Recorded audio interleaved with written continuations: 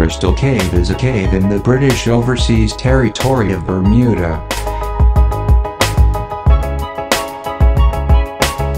It is located in Hamilton Parish, close to Castle Harbour.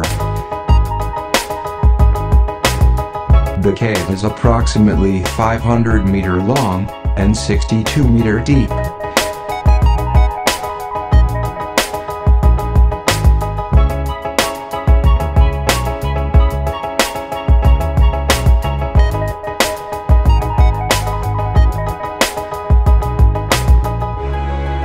The lower 19-20 meters of the cave are below water level.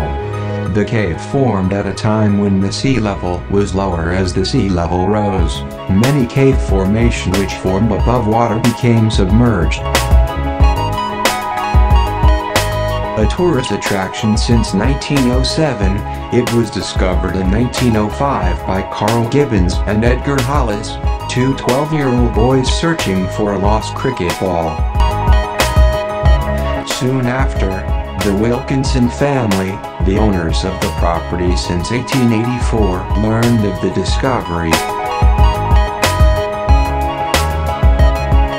Mr. Percy Wilkinson lowered his 14-year-old son Bernard into it with a bicycle lamp on 140 feet of strong rope tied to a tree to explore the cave.